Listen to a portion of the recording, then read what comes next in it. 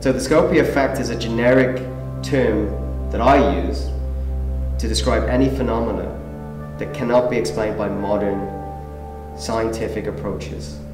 It's the area that I've dedicated the last 10 years of my life. The psychosis that's brought on by experiencing the Scopia effect is one whereby the individual actually believes um, that they have, in some form, traveled through time and into another person's uh, life experience. So, for example, if you were watching a movie, you would experience events with a beginning, a middle, and an end. With the Scopia effect, you experience the past, the present, and the future all at the same time. And that, ladies and gentlemen, is the fundamental principle of the universe that we live in.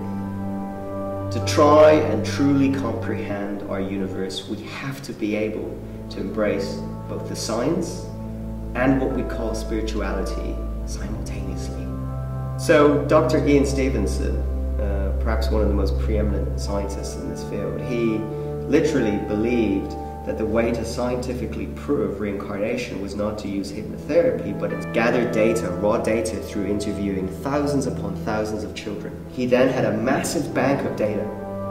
And with that, he could then track through time, it's painstaking. He was able to match the spontaneous memories with the actual deceased people.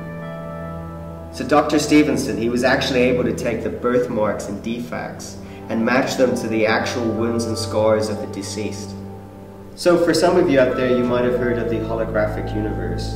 Something that we see and experience every single day, but it is essentially the monitor of a computer. The computer itself that's held far, far away, and inside that computer holds the entire memory of everything that ever was and will ever be. Scopia effect moments, these are times when for a split second we have uh, a little bit of access to that.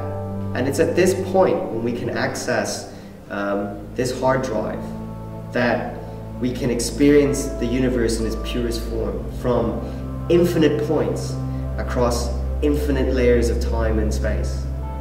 So for any person to actually experience this, it can be the most overwhelming experience you could ever imagine. But yet it can be one whereby for a split second, your mind and the mind of God is combined and it can be glorious.